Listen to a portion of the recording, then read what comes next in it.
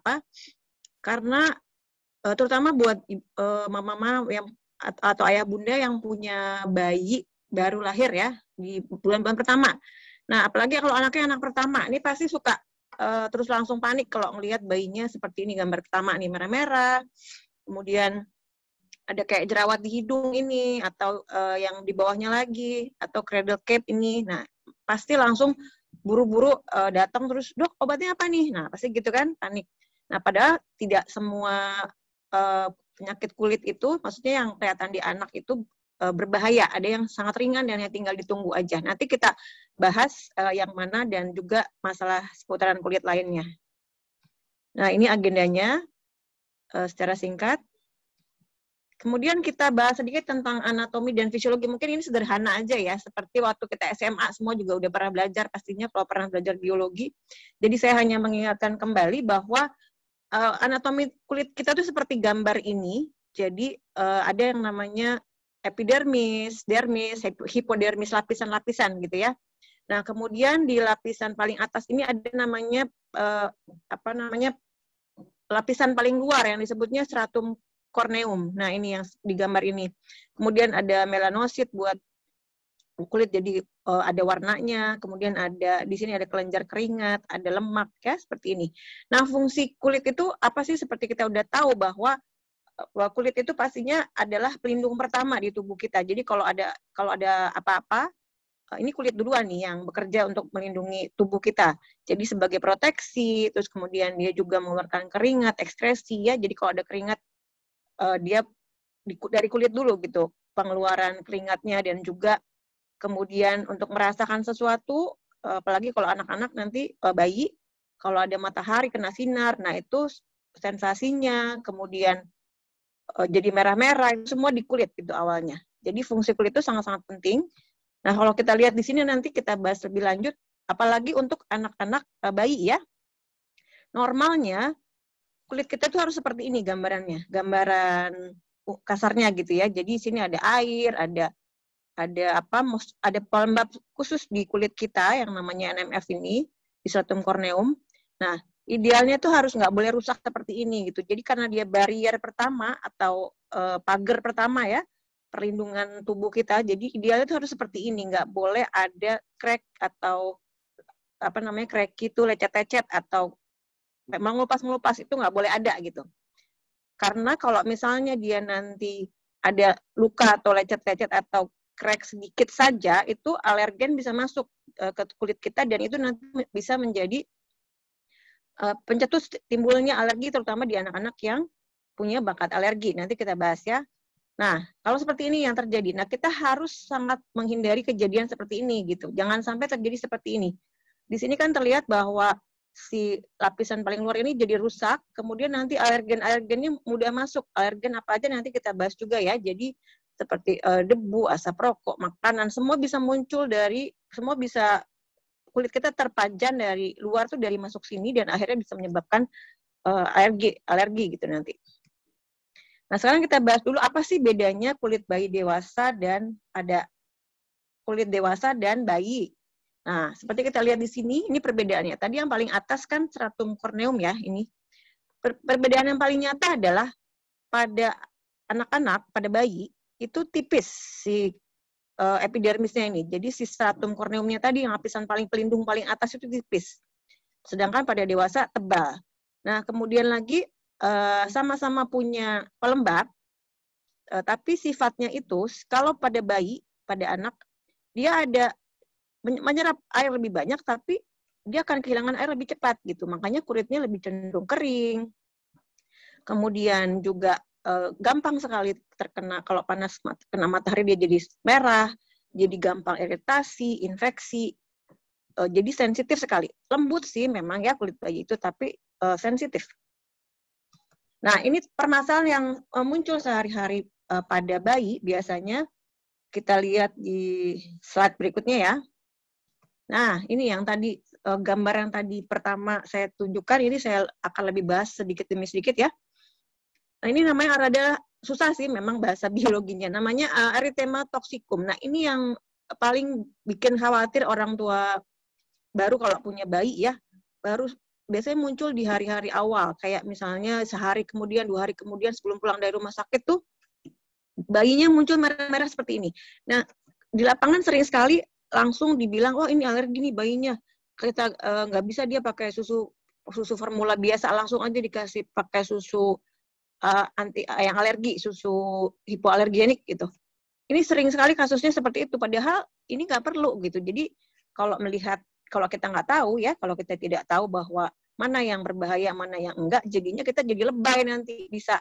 Kasihan kan anak bayi nggak alergi, tiba-tiba kita tuduh alergi, terus langsung dikasih ganti susu. Susu yang anti alergi pula, padahal susu anti alergi itu nggak enak dan mahal gitu kan. Nah, ini erythema toxicum. Pokoknya prinsipnya kalau anaknya nggak rewel, baik-baik aja, boboknya bagus, eh, terus kemudian neteknya kuat, terus aktif, nggak nggak nggak nggak ada demam. Nah, itu artinya kita bisa observasi dan wait and see istilahnya karena dia hilang sendiri di di satu sampai dua minggu si erythema toxicum ini. Penyebabnya nggak diketahui, bisa kadang karena lingkungan gitu ya. Terus kemudian uh, munculnya memang di awal kelahiran, dia akan sembuh sendiri. Jadi kuncinya obatnya adalah sabar. Kadang-kadang banyak yang nggak sabar tuh langsung pengen kasih ini kasih itu, padahal ini nanti sembuh sendiri. Self limiting, benign istilahnya ringan. Nah kemudian yang kedua, yang kedua ini adalah namanya milia. Uh, kalau bisa dilihat di gambar sini ya, yang kedua ini di hidung. kebanyakan tuh hidung kayak kayak jerawat kecil-kecil gitu ya. Nah, ini penyebabnya adalah kulit mati yang terjebak di bawah kulit. Jadi si bayi ini kan super sensitif kulitnya. Jadi terus masih sangat dipengaruhi hormon ibu. Jadi uh, masih akan sering muncul yang seperti seperti ini. Nah, ini kalau di hidung ini namanya milia. Ini juga ringan. Eh, kemudian dia bisa sembuh sendiri mungkin agak lama dibanding tadi erythema toxicum cuma satu dua minggu hilang ya. Kalau ini mungkin bisa sampai agak berbulan-bulan dan ini juga tidak perlu diobatin apa-apa, dicukup wait and see aja istilahnya di dilihat aja nanti sembuh sendiri. Kemudian ini juga yang uh, yang gambar ketiga namanya miliaria nih, miliaria. Nah, ini yang kasusnya juga uh, sangat banyak. Nah, kalau ini ini mungkin cukup mengganggu gitu. Ini kalau bahasa bahasa awamnya itu keringat buntet ya, keringat buntet atau heat rash bahasa Inggrisnya. Jadi uh, dia itu disebabkan oleh keringat biasanya. Cuaca yang panas, kemudian pori-porinya tersumbat, kelenjar keringatnya jadi tersumbat, akibatnya jadi muncul merah-merah seperti ini. Dan kalau seperti ini biasanya bukan di bayi-bayi awal baru lahir, tapi udah agak gedean dikit gitu beberapa bulan. Nah, dia biasanya akan anaknya rewel, apalagi kalau banyak karena jadi gatel dia. Gatel terus bisa di mana aja, terutama di bagian-bagian tubuh yang mengeluarkan banyak keringat. Biasanya ada di uh, leher, bisa ke muka juga, bisa ke punggung gitu. Nah, pencegahannya bagaimana? Yaitu ter, ter, tentu saja hindari uh, dia berkeringat banyak. Banyak yang kadang-kadang uh, apa ya bunda yang datang ke praktek saya juga nanya ini gimana ya dok bayinya kayak gini tapi mau mau dikasih AC takut gitu. Nah sebetulnya pemberian AC juga uh, kalau cuacanya panas sekali nggak masalah asal suhunya suhu set, set suhu ruangan jangan terlalu dingin ya karena daripada anaknya nanti sangat berkeringat atau jadi merah-merah dan mengganggu apalagi kalau udah kena infeksi sekunder istilahnya. Jadi kalau misalnya kapan perlu dibawa ke dokter kalau kira-kira uh, dia anaknya sangat tidak nyaman dan bertambah banyak kemudian sudah dicoba di diobatin misalnya dengan Eh, kita bisa kompres eh, bajunya pakai kompres dingin ya, maksudnya eh, kompres dingin, kemudian sudah itu jangan pakai baju yang tebal-tebal, pakai baju tipis terus hindari keringetan kalau bisa. Jadi kalau keringetan dikit langsung dilap, langsung uh, ganti baju gitu, jangan biarkan dia basah. Itu pencegahan utamanya sih. Tapi kalau intinya memberat, ada tanda infeksi anak yang rewel berat, yaitu tandanya uh, sudah tidak bisa lagi dan harus minta bantuan dokter gitu ya. Nah, ini juga yang sering adalah cradle cap nih namanya. Cradle cap itu bahasa medisnya adalah seborrheic dermatitis. Nah, ini penyebabnya apa? Ini juga bayi-bayi sering ya, ada yang sampai kadang penuh gitu di kepalanya sampai ke muka-muka gitu. Agak agak jijik gitu ya kalau ngelihatnya kadang karena memang ini eh, kadang-kadang disertai jamur juga infeksi jamur gitu. Jadi ini ya gambar yang pertama ini yang yang saya tunjuk panah. Oh sorry, Sorry, sorry, back.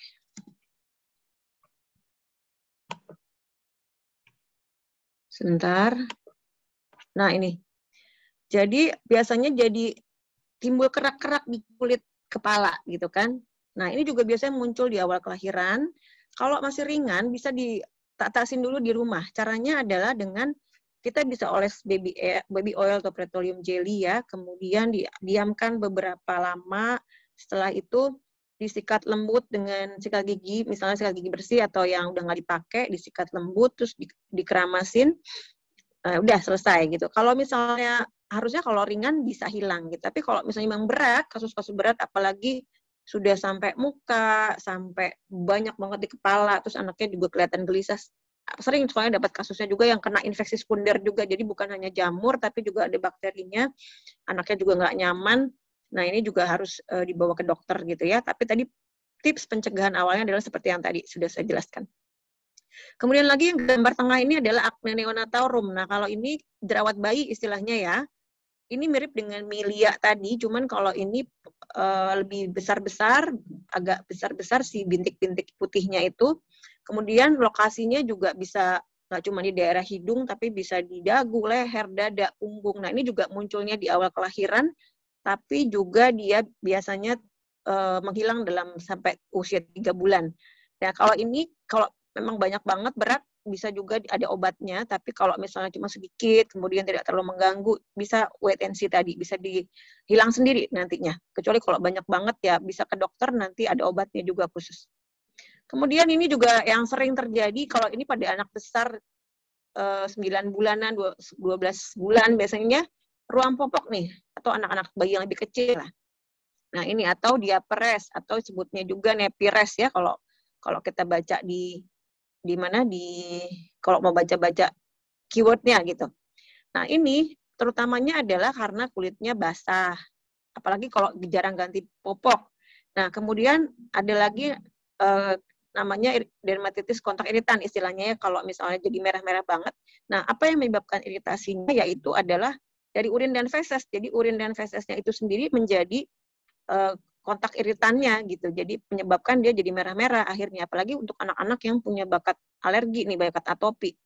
Dia gampang banget uh, terkena seperti ini. Jadi harus hati-hati, harus eh, nggak boleh lama-lama dua jam sekali atau tiga jam sekali. Kalau udah hampir penuh harus segera diganti pampersnya gitu, popok popoknya ya. Nah gejalanya biasanya kemerahan di diaper, kemaluan bayi, bayinya rewel. Ini bahkan kadang-kadang kalau anaknya imunitasnya jelek itu bisa sampai uh, ya itu tadi sama ada infeksi sekunder jadi bernanah parah gitu juga sampai ada yang seperti itu. Nah, bagaimana pencegahannya? Ya tentu saja dengan uh, sering-sering ganti popoknya, kemudian jangan sampai biarkan dia basah intinya gitu ya. Terus kalau untuk anak-anak yang memang kira-kira bakat alergi atau gampang sensitif sekali kulitnya, ada bakat riwayat atopi, itu bisa dikasih barrier cream istilahnya. Barrier cream tuh saya nggak boleh sebut merek soalnya ya jadi ya intinya yang mengandung intinya yang mengandung ada zinc oxide sama petroleum gel. Itu prinsip prinsipnya ada itunya gitu. Itu bisa untuk sebagai pencegahan pertama. Nanti kalau memang parah ya mau nggak mau harus ke dokter gitu. Kalau apalagi kalau ada demam kalau mengganggu BAK BAB-nya dia setiap BAK BAB jadi merintih gitu kesakitan terus gejalanya makin meluas memberat. Nah ini tanda-tanda harus dibawa ke dokter Nah, kita bahas sedikit tentang dermatitis atopik ya, karena ini juga cukup sering kasusnya. Dan ini suka rancu sama yang tadi gitu, sama yang tadi sudah saya jelaskan di awal, yang penyakit-penyakit kulit yang kesehari-hari sering kita temui. Nah, namanya adalah dermatitis atopik. Kalau ini beda beda sendiri, beda lagi gitu ya ceritanya beda lagi. Kalau ini dermatitis atopik ini dia muncul kalau anaknya sudah di atas dua bulan biasanya. Dan yang paling penting dia itu harus ada uh, riwayat atopi istilahnya di keluarga. Jadi bapak ibu kalau bapak ibunya asma nih, bapak ibunya asma, bapak ibu nenek kakek ada riwayat asma. Kemudian ada uh, apa sering sering bersin pagi, gatal-gatal kalau makan udang. Nah, itu tanda-tanda dia punya riwayat atopi. Jadi atopi itu istilahnya uh, keluarga satu keluarga kumpulan gejala gitu ya. Nah, ini menurun. Kalau misalnya punya bakat ini, hati-hati kalau anak punya anak yang seperti ini. Karena dia bisa menjadi dermatitis atopi tadi. Jadi gejalanya adalah, eh, atau orang bilangnya eksim ya, orang awam bilangnya eksim. Gejalanya adalah kulitnya kemerahan seperti gambar ini, kemudian gatal dan sering kambuh.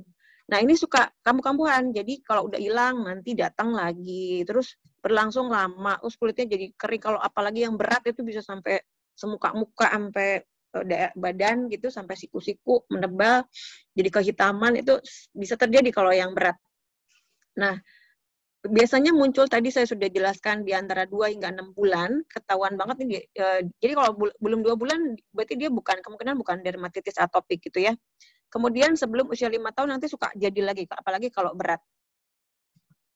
Nah, ini yang tadi saya sudah sempat singgung di awal bahwa kulit kita tuh seperti ini seperti batu bata ini ya eh, pelindung tadi stratum corneum dia harus seperti ini intact istilahnya jadi nggak boleh ada crack atau uh, lesi gitu nah begitu dia rusak anak-anak yang punya bakat alergi ini eh, gampang sekali ini kulitnya rusak nanti masuklah si alergen si entah itu debu makanan serpihan-serpihannya ya masuk ke kulit Nah, itu yang kemudian bisa bikin anak jadi dermatitis atopi. Dia muncul merah-merah di pipi ini seperti gambar di bawah ini ya. Ini yang kalau kulit normal pipinya bersih gitu ya. Nah, ini pipinya jadi merah-merah dan parahnya nanti seperti yang gambar sebelumnya.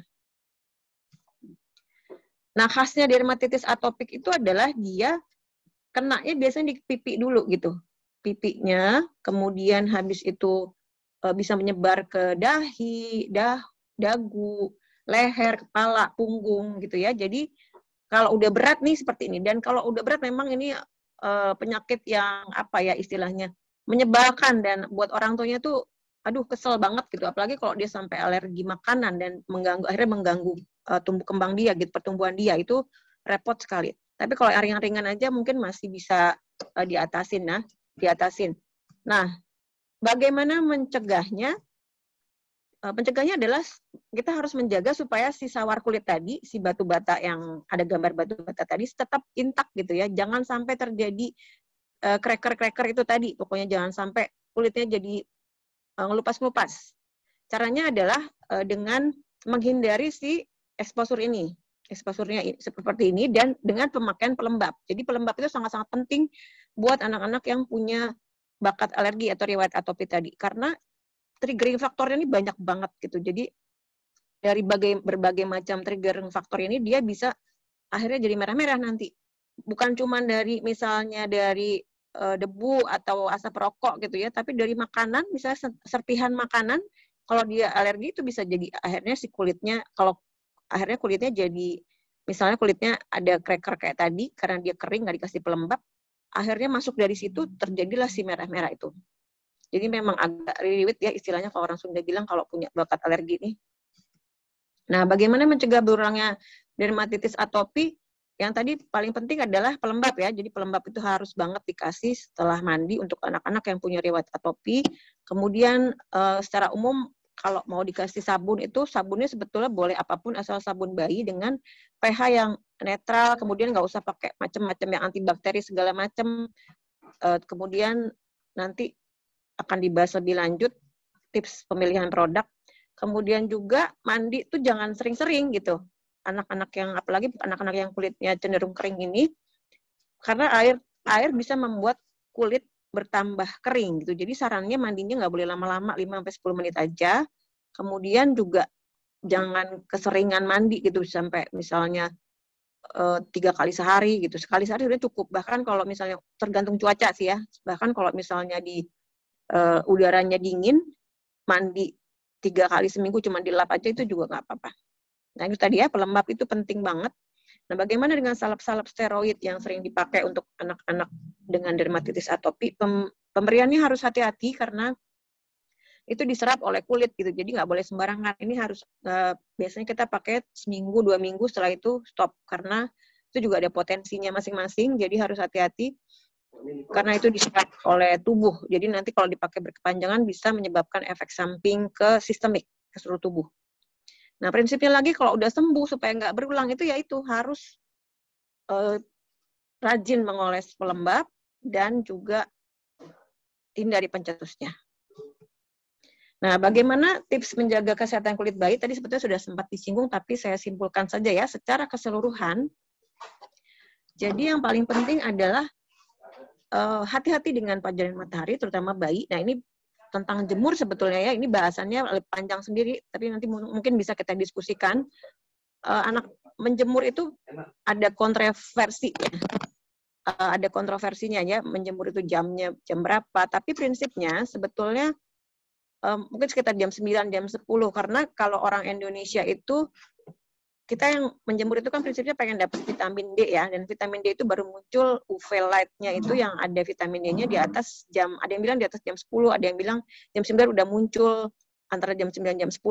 Kemudian harus disesuaikan dengan warna kulit, dengan keadaan uh, mendung atau tidak.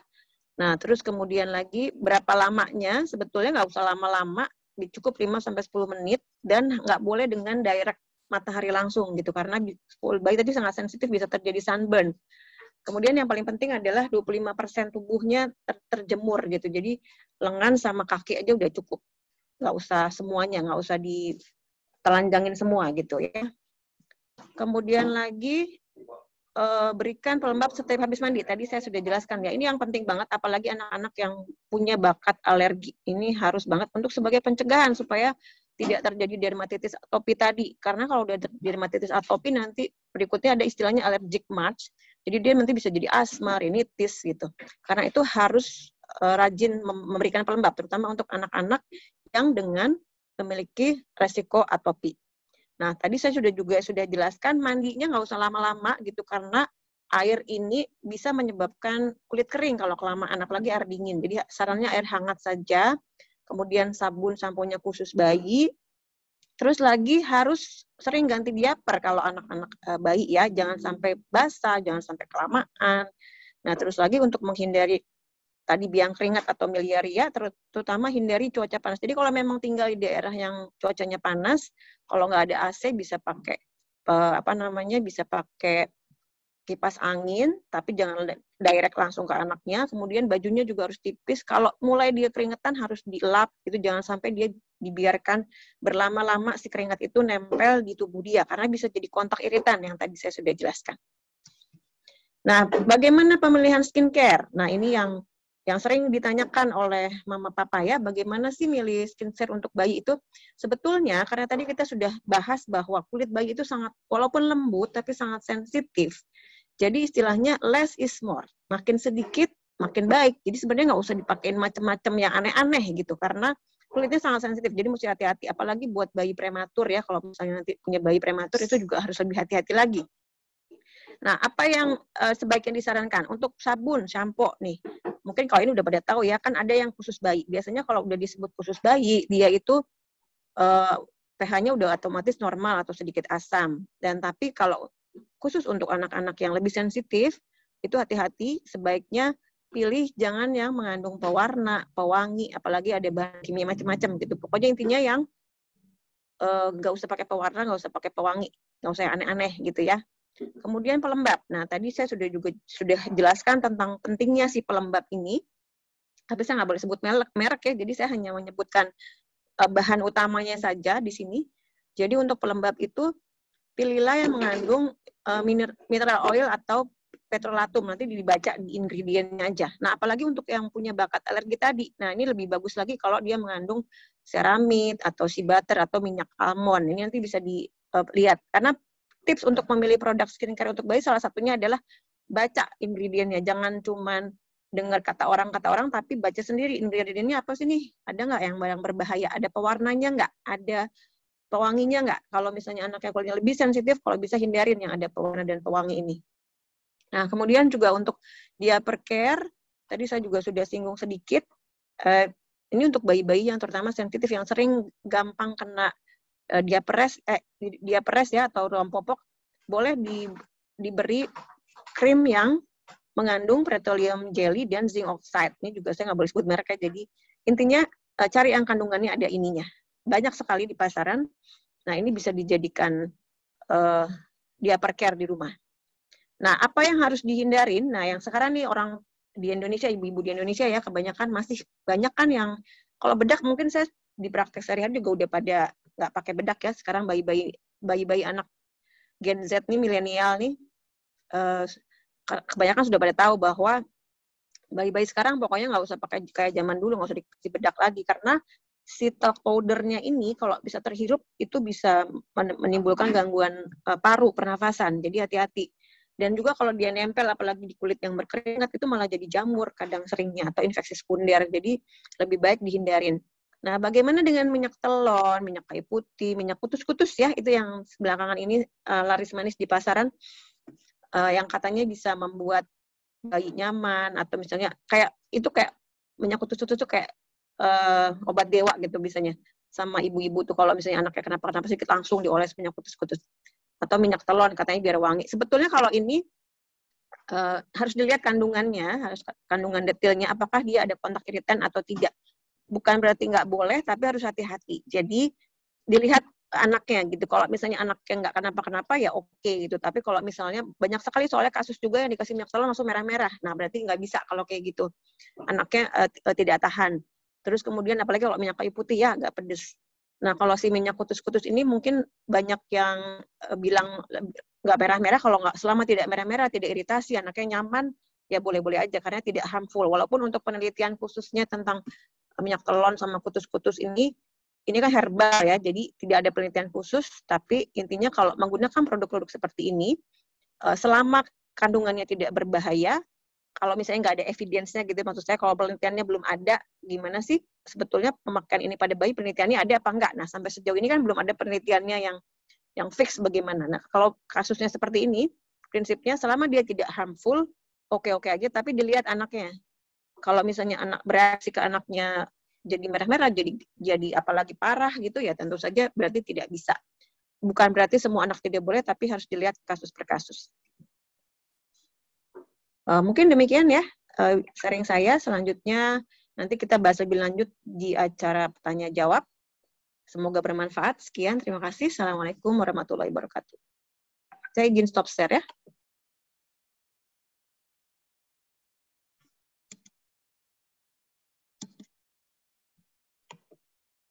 eh kok nggak bisa stop share? Oh ini. Saya kembalikan ke Mbak Resti ya.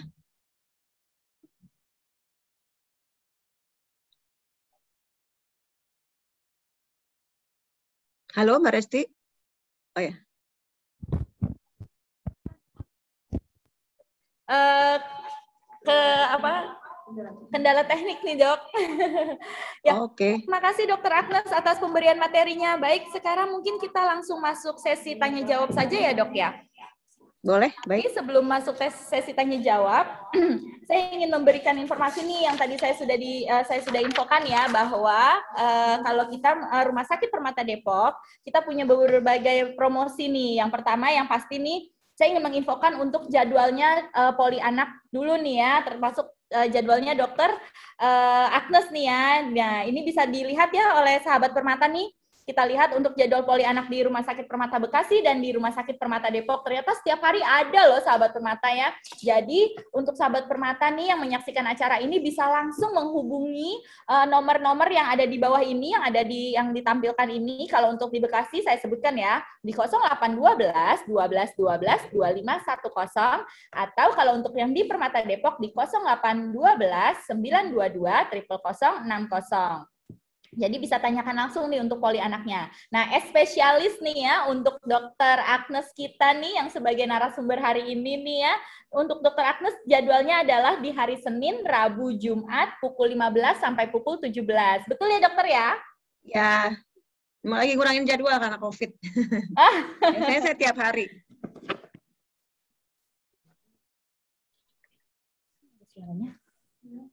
Baik, Uh, untuk selanjutnya nih kita juga punya nih eh, promo-promo uh, nih bisa dilihat ya.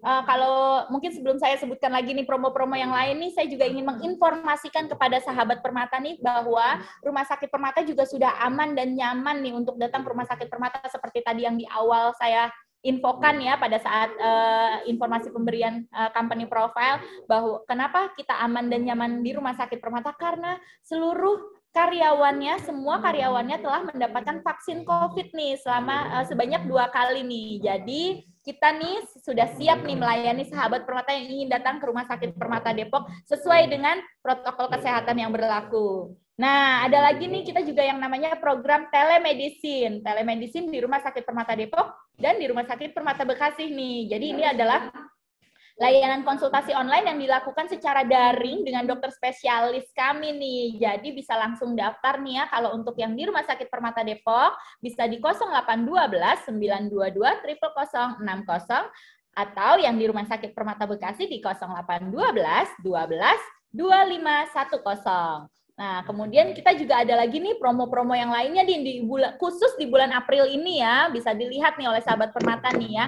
Ada promo uh, lab Ramadan. Wah, berarti di bulan Ramadan ini nih untuk pemeriksaan lab diskon 50% ya untuk khusus cek gula darah puasa, asam urat, kolesterol ya. Jadi dari harga 150.000 karena diskon 50% jadi hanya 75.000 rupiah. Nah, bisa langsung ya. Langsung aja nih hubungi Rumah Sakit Permata kita nih ya di 0812 12 2510 untuk Rumah Sakit Permata Bekasi dan untuk Rumah Sakit Permata Depok di 0812 922 0060. Baik, untuk konsultasi online-nya juga bisa ya, langsung di tadi yang saya sudah sebutkan lagi nih nomornya. Dan itu juga dapat diskon ternyata 10% ya sahabat permata ya. Itu berlaku di bulan April. Yuk, kalau mau konsultasi online mungkin misalnya masih takut datang ke rumah sakit, tidak apa-apa, tidak masalah. Kita bisa konsultasi online dengan dokter-dokter spesialis kita ya. Jangan lupa nih, diskon 10% nih. Kemudian kita juga punya yang namanya paket isoman atau isolasi mandiri nih. Mungkin sahabat permata yang menyaksikan acara ini punya sahabat, kerabat, tetangga atau uh, saudara yang sedang isolasi mandiri, Rumah Sakit Permata juga punya nih kita paket-paketnya isolasi mandiri nih. Ada paket isoman silver, ada paket isoman gold, ada platinum juga. Nah, bisa menghubungi juga nih langsung ke informasi dan pendaftaran kita nih via WA uh, eh, via WA juga bisa. Kalau untuk di Bekasi bisa di 0812 99665285 atau bisa dicatat ya sahabat permata ya atau di Rumah Sakit Permata Depok di 08 triple 2 triple 1860. Saya ulang ya, 08 triple 2 triple 1860. Baik, itu saja yang bisa saya infokan nih kepada sahabat permata ya. Tapi saya juga ingin menginfokan juga nih, jangan lupa juga kunjungi website kami ya untuk uh, informasi-informasi seputar kesehatan juga bisa di www.rspermata.co.id atau di Instagram-Instagram kita juga nih, ada dua Instagramnya yaitu untuk Rumah Sakit Bekasi at RS Permata Bekasi atau di Rumah Sakit Depok, Rumah Sakit Permata Depok di at RS Rumah Sakit eh, eh, Permata Depok. Baik, mungkin kita langsung saja nih ya Dokter Agnes ya masuk ke sesi pertanyaan ya Dokter. Ya, boleh. Sudah banyak sekali nih yang chat ya. Mungkin sahabat permata nih bisa kita bacakan satu persatu dari pertama ya, sebentar. Baik, dari pertama wow banyak sekali ya chat kita. Pertama dari Arum Setianingsih nih, izin bertanya dok, saya Arum dari Boyolali. Di musim pandemi ini kan anak-anak sering pakai sebentar. Nah, di musim pandemi ini kan anak-anak sering pakai masker juga. Terkadang anak-anak merasa lembab dan risih ketika berlama-lama pakai masker. Tidak jarang kulit di bagian hidung dan mulut jadi lebih sensitif, seperti jadi gatel-gatel dan sering garuk-garuk bagian sekitar mulutnya dan sekitar hidungnya. Akhirnya lecet-lecet, dok. Bagaimana ya, dok, untuk perawatan kulit wajah anak-anak, apalagi kalau sekarang sedang pakai masker juga? Terima kasih. Nah, gimana, dokter? Mau langsung dijawab? Boleh langsung ya. Langsung, silakan. Terima kasih Mbak Rum pertanyaannya dari Boyolali jauh ya. iya, betul. Jadi sebetulnya kalau masker, saya mungkin mengingatkan kembali aja, kalau anak di bawah 2 tahun, itu memang belum perlu pakai masker ya, karena selain dia menyebabkan hipoksia atau takutnya nanti kekurangan oksigen ringan, uh, belum bisa gitu anaknya. Jadi kalau mau untuk protokol kesehatannya sebaiknya jaga jarak gitu, jaga jarak atau pakai face shield, shield juga tidak terlalu menolong. Tapi yang paling penting itu jaga jarak sebetulnya. Jadi kalau kita mau pergi sama anak-anak di bawah 2 tahun, keluar dan dia belum efektif maskernya, uh, pastikan dia tidak mendekati kerumunan atau kasihlah 2 meter jarak ke dia gitu ya. Itu yang paling uh, utama. Tapi kalau anak-anak yang lebih besar di atas 2 tahun kan udah bisa ya. Nah, bagaimana menghindari supaya nggak merah-merah dan lecet? Sebetulnya yang paling penting prinsipnya itu tadi. Jangan sampai dia kelamaan basah keringat dan juga jangan sampai dibiarkan berlama-lama pakai masker yang sudah basah. Kalau orang dewasa kan sarannya bisa 4-6 jam ya. Mungkin kalau anak-anak lebih uh, bisa lebih sering gitu, bisa bisa dua jam sekali harus ganti masker gitu. Jadi terus kalau misalnya udah basah nih si si daerah hidungnya dan keringat gitu, harus segera dilap, kasih pelembab tadi yang tadi saya sudah jelaskan supaya tidak untuk mencegah timbul merah-merah ya. Tapi kalau udah terlanjur timbul merah-merah, ya mau nggak mau harus ada obat khususnya sih sebetulnya, apalagi kalau banyak gitu. Tapi untuk pencegahannya seperti itu. Yang paling penting hindari uh, dia basah dan harus sering diganti. Kemudian kalau sudah basah, sebaiknya dilap, terus kasih pelembab. Supaya tidak terjadi iritasi seperti yang uh, tadi sudah dijelaskan. Mungkin itu ya buat Mbak Arum. Baik, Mbak Arum, uh, sudah cukup jelas ya, berarti tetap harus diberikan pelembab, boleh ya dok ya, untuk anak-anak ya dok ya? Ya, ya itu yang sangat disarankan adalah itu pelembab pelembab ya disarankannya ya. Baik, selanjutnya nih dok dari Trilas Jogja. Wow, jauh-jauh sekali ya. Tadi dari Boyolali, sekarang kita langsung ke Jogja. Oke, bagaimana membedakan bayi alergi atau penyakit kulit dok? Membedakan penyakit antara penyakit kulit dengan bayi alergi seperti apa dok? Ya, uh, terima kasih pertanyaannya nih dari Jogja Mbak Jauh ya. Uh, ini juga sering ditanyakan memang, cuman memang kita nggak bahas kalau untuk infeksinya ya, karena masalah infeksi. Kita lagi bahas masalah keseharian, karena kalau masalah uh, infeksi itu agak panjang lagi pembahasannya dan memang harus sering lihat gitu kasusnya. Nah, untuk membedakannya, biasanya kalau tadi yang sudah saya sharing di awal, uh, itu yang sering terjadi dan termasuk ringan dianggapnya. Tapi kalau misalnya penyakit-penyakit infeksi, seperti misalnya yang paling sering juga adalah uh, penyakit jamur ya atau panu biasanya kan itu agak cukup jelas untuk membedakannya. Dia biasanya sangat gatal. Pokoknya keluhannya kalau misalnya ada muncul eh, gangguan kulit terus anaknya nggak nyaman atau rewel nah itu artinya mungkin dia perlu dibawa segera ke dokter gitu. Karena uh, mungkin biasanya dia itu penyakit infeksi. Bisa juga alergi uh, makanan. Misalnya dia habis muncul sesuatu terus dia langsung uh, muncul gejala. Nah jadi prinsipnya kalau anaknya nggak happy karena kalau anaknya muncul segala macam, walaupun dia mengerikan, tapi anaknya masih happy, masih nggak rewel, dan masih bisa nyusu dengan baik, masih aktif, itu artinya kita masih bisa wait and see istilahnya. Tapi kalau anaknya sudah mulai kelihatan rewel, nggak happy, nah garuk-garuk terus, itu artinya dia perlu tindakan khusus. Mungkin secara umumnya seperti itu. Tapi kalau misalnya secara detailnya, yang paling sering biasanya adalah yang tadi ya panu itu atau namanya tinea uh, tinea bisocorporis tergantung letaknya bisa itu juga sering karena keringat, akhirnya dibiarkan, akhirnya jamur. Nah, itu perlu obat anti jamur khusus. Kemudian lagi yang sering adalah impetigo namanya. Impetigo. Nah, ini juga sering pada anak-anak dan ini menular dan ini disebabkan oleh bakteri. Jadi kalau sudah muncul uh, kulit papul-papul ruam kemerahan yang yang kayak bisul, nah itu artinya udah ada nanah kan. Nah, ini biasanya tidak bisa diobatin sendiri, harus ke dokter karena dia perlu antibiotik biasanya uh, bukan cuma salep, apalagi kalau udah seluruh banyak, itu biasanya bukan cuma perlu salep, tapi juga perlu obat minum antibiotik. Terus lagi ada juga yang putih-putih di wajah karena sinar matahari. Itu namanya dermatitis solaris ya. Sering juga pada anak tuh uh, datang ke ke kita, dok ini anaknya putih-putih di wajah kayak panu kan nggak enak dilihatnya gitu ya. Nah padahal sebetulnya itu bukan bukan panu bukan jamur, tapi itu namanya adalah dermatitis solaris dia jadi nggak tahan kena sinar matahari dia putih-putih. Nah kalau ini biasanya kita sarankan hindarin aja matahari nanti lama-lama hilang sendiri gitu. Mungkin itu ya Mbak.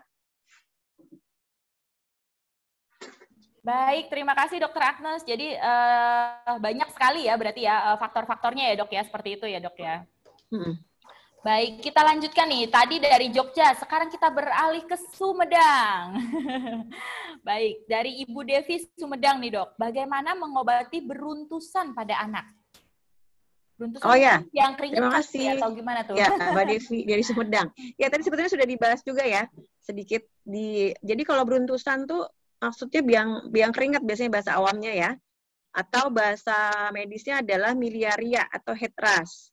Nah ini tadi uh, ini juga banyak dan seringnya itu kalau cuacanya panas biasanya.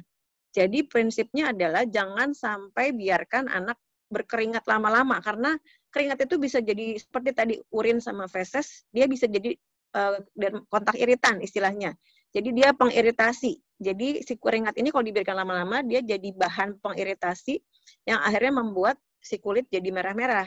Karena itu prinsipnya adalah jangan kalau misalnya suhunya udah panas banget dan ini anak udah tahu biasanya akan keringetan, nah cegahlah itu dengan entah misalnya pakai AC atau pakai kipas angin, kemudian bajunya di uh, jangan pakai baju tebal, baju kaos oblong aja. Dan ketika dia sudah mulai banyak harus segera dilap, lap dingin, uh, kemudian dikeringkan. Jangan dibiarkan lama-lama menempel di kulit, intinya seperti itu. Tapi kalau sudah berat, karena ada juga nih yang buntusan ini jadi berat, jadi infeksi sekunder, anaknya udah gatal-gatal hebat, terus kemudian merah-merah banyak sekali, apalagi kalau ada nanah-nanah uh, hijau kehijauan gitu, nah itu artinya perlu segera dibawa ke dokter karena dia perlu pemberian obat yang lebih spesifik lagi. Mungkin itu ya, Mbak Devi, buat Mbak Devi. Buat Mbak Devi ya, sudah cukup jelas ya Mbak Devi dari Sumedang. Terima kasih dokter. Selanjutnya nih dari Marta Jakarta apakah aman menggunakan bedak dan minyak? Maksudnya di sini minyak telon, minyak kelapa, minyak zaitun. Nah, setiap hmm. hari, Dok. Bagaimana memilih eh, apa namanya bedak dan minyak yang aman, Dok? Oke, ini dari Bandung tadi ya, Mbak? Eh dari Jakarta Dari ya? Jakarta, Ibu Marta. Oh iya, terima kasih pertanyaannya, Ibu Marta. Uh, jadi tadi juga sempat disinggung sedikit ya, kita bahas lebih detail lagi bahwa sebetulnya pemakaian bedak sudah tidak disarankan gitu sekarang ini saat ini. Untuk bayi-bayi itu kan anak-anak zaman dulu ya pada pakai bedak pakai pakai gurita tuh anak-anak zaman dulu kelihatan uh, produk produk lama istilahnya gitu ya. Tapi kalau mama-mama sekarang biasanya udah pinter udah pada nggak pakai gurita lagi nggak dikasih bedak lagi. Kalau bedak tidak disarankan karena kalau dia terhirup partikelnya itu bisa mengganggu fungsi paru. Jadi hati-hati.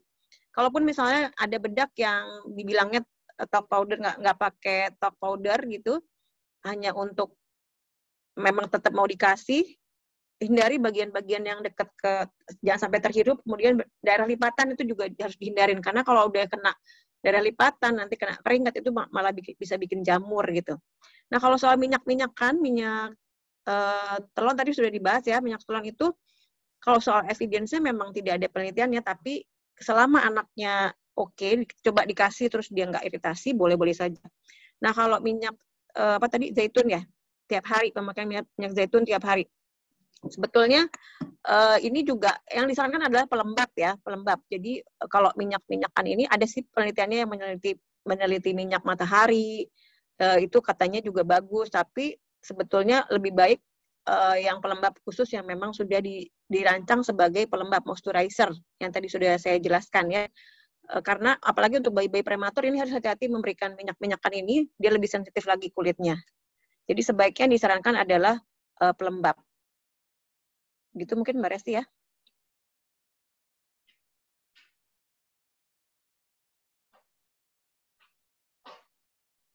Mbak Resti? Gak kedengeran ya suaranya? Mungkin ada problem sedikit ya. Saya bacakan aja pertanyaannya di sini ya sambil menunggu. Tadi ya, ada dok, yang bertanya. Mohon oh, maaf oh, udah. nih, ada sedikit kendala yeah. teknis lagi okay. nih. ya, baik dokter. Terima kasih dokter. Mohon maaf ya sahabat permata nih sama dokter juga mohon maaf nih ya dok. Uh, tadi ada sedikit kendala teknis lagi nih ya. Uh, jadi kita lanjutkan kembali ya dok ya boleh ya dok? Hmm. Baik, selanjutnya nih dok, uh, tadi dari Ibu Marta Jakarta, selanjutnya dari Ibu Isabella Jakarta nih. Kapan harus ke dokter atau diberikan obat jika anak mengalami masalah kulit dan belum dapat menyampaikan keluhan? Gimana nih dok? Ya, baik. Terima kasih Ibu pertanyaannya. Jadi, uh, prinsipnya seperti tadi ya, anak-anak kan memang belum bisa bilang, tapi kita bisa baca dari ekspresi dia kan, gitu. Kalau anaknya uh, jadi rewel dari biasanya, kemudian kelihatan kayak garuk-garuk atau misalnya kesakitan, wajahnya meringis. Nah, itu artinya ada sesuatu yang nggak bikin anak happy. Nah, kalau seperti ini, artinya udah warning sign istilahnya. Berarti ini kita nggak bisa wait and see nih, harus ada tindakan. Tindakannya apa? Kalau memang berat, ya tentu dibawa ke dokter. Tapi kalau misalnya ringan, misalnya dia cuman apa tadi beruntusan biang keringat, terus dia mulai gatal-gatal. Itu tadi bisa dicegah dengan coba dilap, Eh, di jangan sampai biarkan basah. Nah, kemudian kalau yang tadi masker untuk mencegah bisa dipakaikan pelembab seperti itu. Jadi prinsipnya lihat anaknya ya. Intinya kalau anaknya udah mulai kelihatan nggak happy, nah ini berarti ada sesuatu, mungkin perlu obat lebih khusus gitu. Hmm, Hmm, baik, berarti tetap harus dilihat kondisi anaknya kembali gitu ya dok ya, baru bisa uh, dikonsultasikan ke dokter gitu ya dok ya. Ya. Nah, kemudian ada lagi nih, ini dari uh, warga Depok nih, dari Ibu Isti di Depok. Bagaimana menghilangkan bekas gigitan nyamuk yang sulit hilang pada anak usia 19 bulan, dok? 19 bulan. Hmm. Oke. Okay. Uh, kalau gigitan nyamuk ini namanya bahasa awamnya insect bite ya. Kalau insect bite parah, sebetulnya itu ada obat khusus juga semacam steroid yang bisa dioleskan. Untuk kalau misalnya memang dia baru baru baru digigit gitu. Tapi kalau bekas-bekasnya, bekas-bekasnya ini memang kalau yang jadi kehitaman itu agak lama sembuhnya. Jadi sebetulnya tidak ada obat khusus untuk menghilangkan si kehitaman ini. Tinggal berlalunya waktu nanti lama-lama dia hilang asal memang agak lama gitu. Nah, tapi yang paling penting adalah kalau udah tahu bahwa ini anak nggak bisa digigit nyamuk, ya harus hindari. Jangan sampai anak ini sering digigit nyamuk. Itu kan sekarang banyak eh, pengoles yang aman gitu ya, biar dia nggak kena gigitan nyamuk. Kalau untuk 19 bulan, pilihannya sudah lebih banyak dibanding anak-anak yang lebih kecil. Jadi sarannya lebih baik eh, hindari pencetusnya. Kalau yang sudah terlanjur kehitaman, memang nggak ada obat khusus, sabar aja nanti juga lama-lama hilang. Walaupun memang agak lama.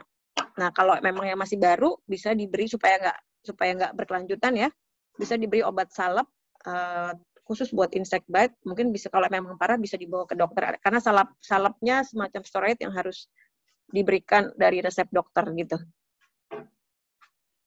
Mungkin itu ya, Mbak Resti.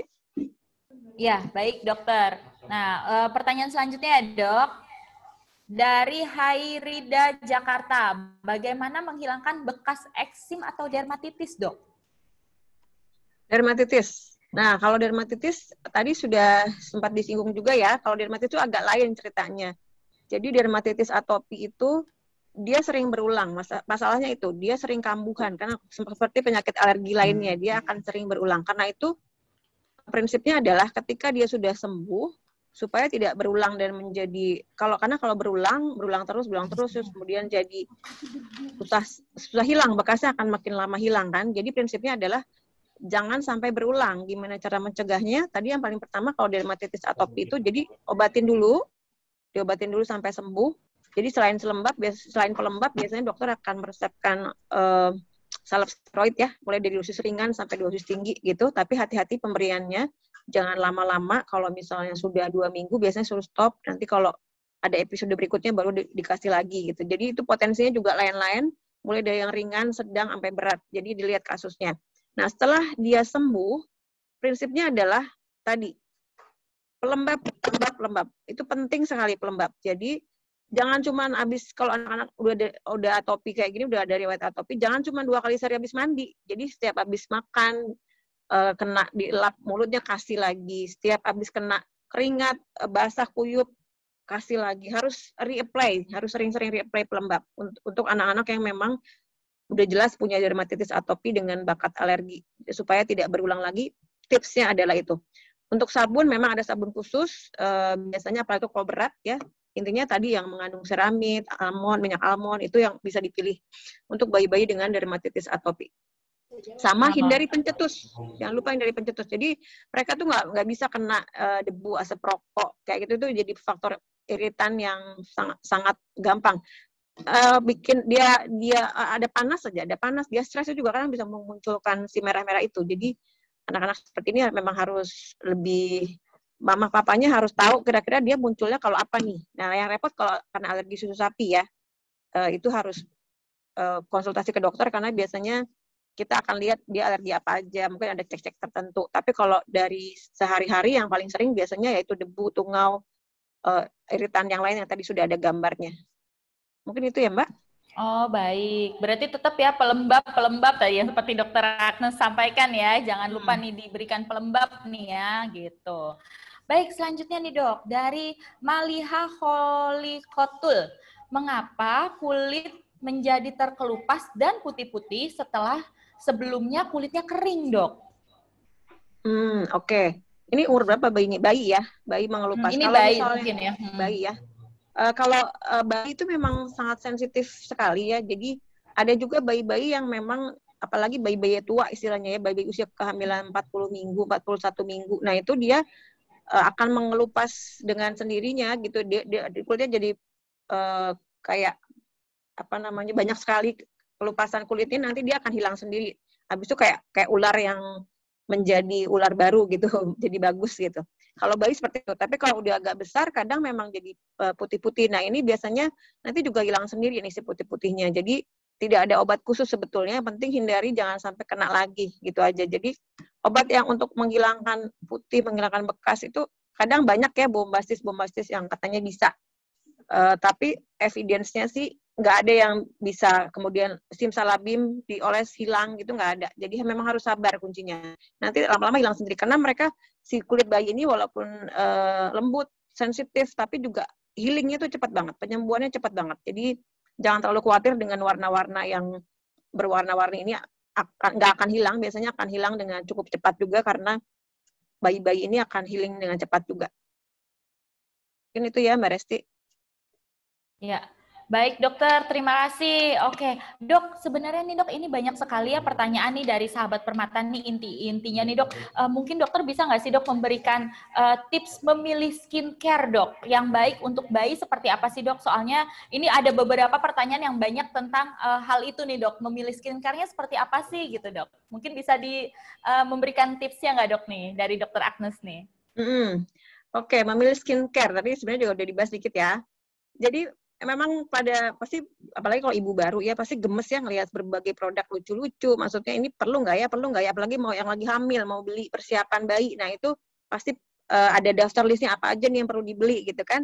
Uh, itu memang bagus banget. Cuman tadi prinsipnya seperti yang sudah saya highlight bahwa kalau untuk bayi less is more. Jadi kulitnya sensitif banget, jadi nggak usah dikasih yang terlalu macem-macem gitu. Uh, untuk uh, yang pertama tentu saja sampo sama sabun ya untuk memilih produk yang yang sering kita pakai.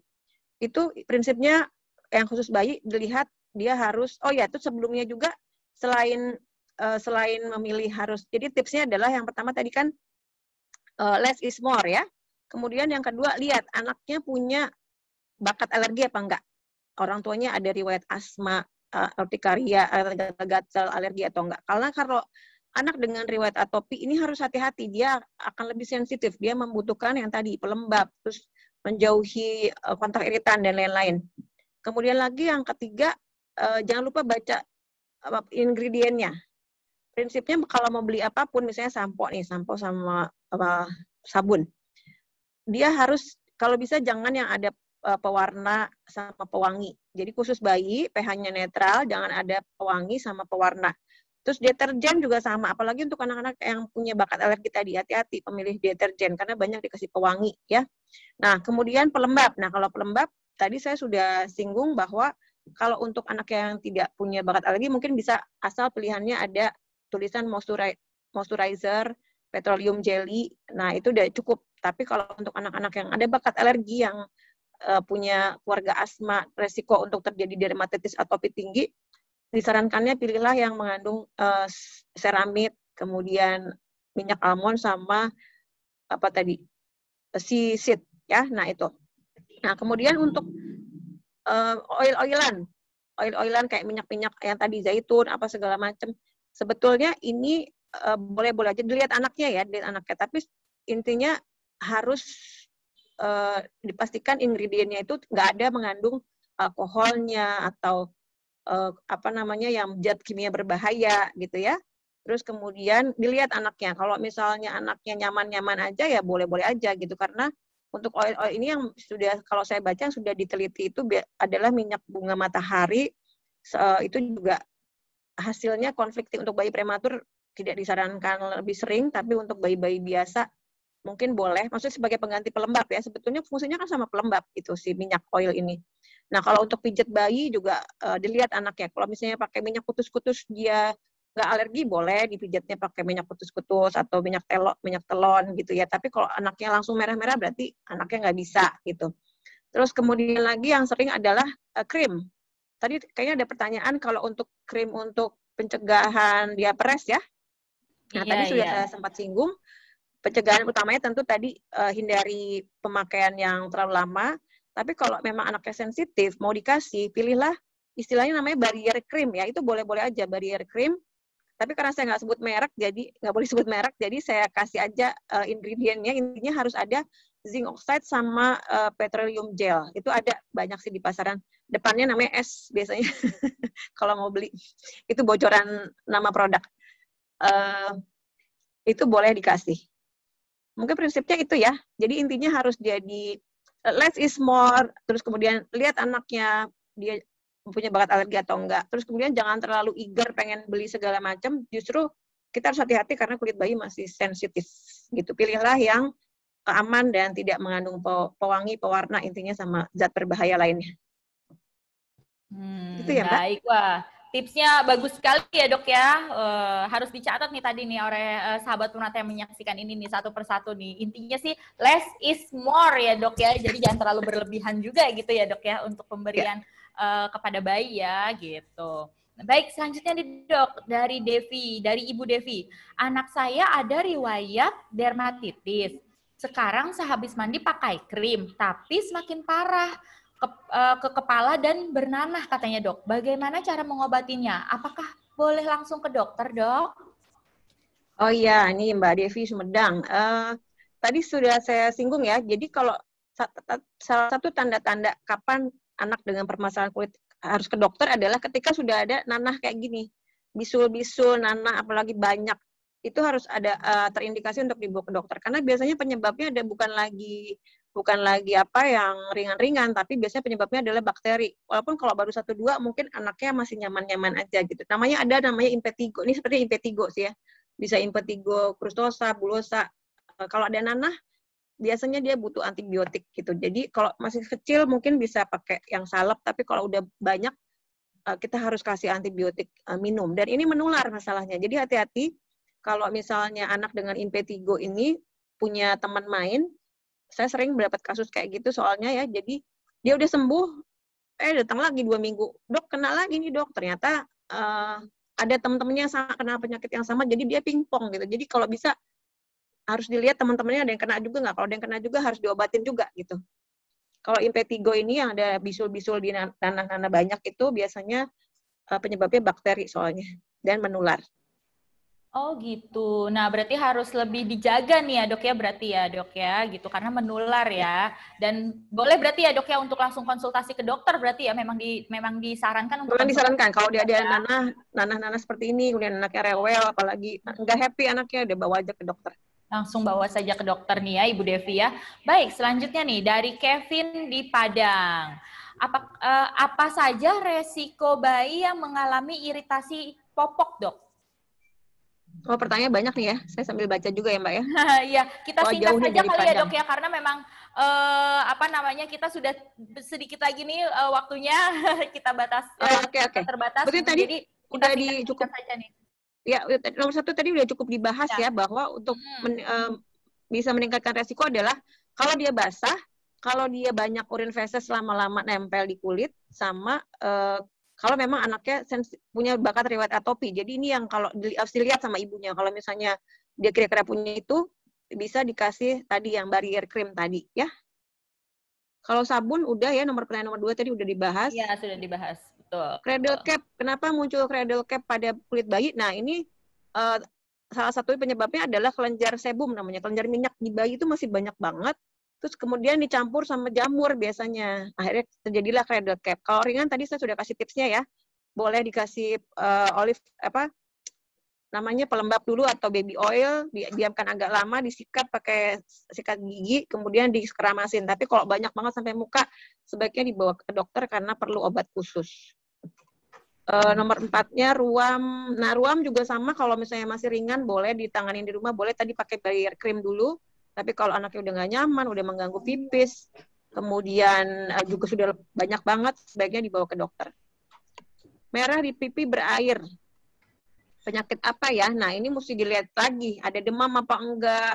Terus kemudian karena ruam tuh banyak banget pembahasannya ya Mbak. Prinsipnya harus pastikan dulu nggak ada demam. Kalau nggak ada demam mungkin itu hanya uh, ringan saja. Kalau ada demam itu uh, beda lagi ceritanya. Bisa nanti ke arah campak, bisa ke viral exanthem, lain-lain. Oh gitu. Tetap makanya ya. harus dikonsultasikan ke dokter ya dok ya, gitu. Ya kalau ada demam itu lain lagi ceritanya soalnya. Hmm. Ya. Baik, selanjutnya nih dari Rahma di Depok. Anak saya mengalami eksim dua bulan. Sudah sempat sembuh, tapi kembali muncul dan sekarang menyebar. Bagaimana mencegah eksim berulangnya dok? Nah, ini tadi yang saya bilang bahwa eksim ini atau dermatitis atopi ini memang penyakit yang menyebalkan gitu ya. Jadi ibunya harus tahu betul, harus uh, melihat betul kira-kira pencetusnya apa nih. Uh, biasanya dokter pasti ini perlu penanganan dokter sih ya. Dan supaya nggak muncul lagi, yang pertama adalah tadi uh, pelembab, jangan lupa pelembab, pelembab, pelembab tadi sudah saya jelaskan. Kemudian lagi juga uh, harus ditahu pencetusnya apa. Jangan-jangan dia alergi susu sapi karena sering juga lumayan sering ya penyebabnya alergi susu sapi. Kalau penyebabnya alergi susu sapi ini juga harus penanganannya harus khusus. Jadi ibunya mesti kalau dia masih ASI mesti nggak minum produk susu sapi dulu. Kemudian kalau dia minum susu biasa dia harus pakai susu yang uh, hipoalergenik seperti itu. Jadi hindari pencetusnya harus tahu dulu. Kalau misalnya bukan alergi susu sapi, mungkin yang paling sering dari uh, biasanya dari sekitarnya yang tadi. Jadi dari eh, debu, dari tungau, dari atau kadang asap rokok itu juga sangat-sangat bikin eh, iritasi. Dari deterjen, dari coba dicek deterjennya jangan-jangan pakai pewangi gitu atau produk produk uh, yang lain-lainnya dari ada pewanginya, pewarnanya itu juga bisa bikin anak jadi sering kambuh. Jadi sebaiknya uh, harus dievaluasi lagi. Baik, terima kasih Dokter Agnes. Mungkin satu pertanyaan terakhir boleh ya dok ya? Boleh, boleh. Baik, sebenarnya banyak nih pertanyaan-pertanyaan yang lainnya nih, tapi uh, karena kita memang uh, terbatas oleh waktu, jadi ini satu pertanyaan terakhir boleh saya uh, saya sampaikan ke Dokter Agnes ya. Ini dari hmm. Ibu Nur Hasanah di Bandung. Apakah makanan yang dikonsumsi ibu saat hamil dapat mempengaruhi kulit bayi saat lahir? Misalnya minum air kelapa muda membuat kulit bayi jadi bersih. Nah, itu gimana tuh, Dok? Mitos atau oh, fakta? Itu, mitos atau fakta ya? uh, prinsipnya gini, sebetulnya kalau penelitiannya belum ada ya, jadi seperti yang tadi saya bilang, banyak sekali mitos atau fakta yang itu uh, hanya seputar mitos, tapi kalau pada kenyataannya kita nggak tahu, belum diteliti, jadi kita belum bisa bilang. Tapi prinsipnya kalau balik lagi tadi, kalau misalnya anak dengan bakat alergi, itu yang harus hati-hati. Kalau anaknya normal-normal aja nggak ada bakat alergi, nggak ada bakat atopi, ibunya mau, makan apa aja ya silahkan silahkan aja. Uh, tapi kalau misalnya anak dengan bakat alergi ini hati-hati banget saat hamil. Ini mungkin bukan bukan berkaitan dengan makanan ya, tapi makanan juga. Tapi uh, prinsipnya hati-hati, jangan sampai terpapar asap rokok. Kemudian kalau bisa layarnya uh, spontan ya, jangan sesar kalau bisa.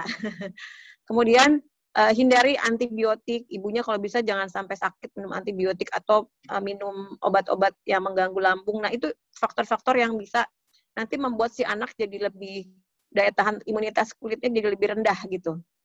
Nah, istilahnya uh, dia nggak dapat probiotik alami. Itu yang yang akan meningkatkan resiko alergi juga nantinya. Itu yang sudah ada buktinya. Kalau minyak apa kalau air kelapa sendiri itu belum ada buktinya ya. Boleh-boleh aja selama itu tidak harmful, tapi untuk uh, untuk anak-anak yang punya bakat alergi itu yang harus hati-hati kalau ibunya mau menggunakan sesuatu atau memakai sesuatu. Mungkin itu yang bisa saya jawab, Mbak.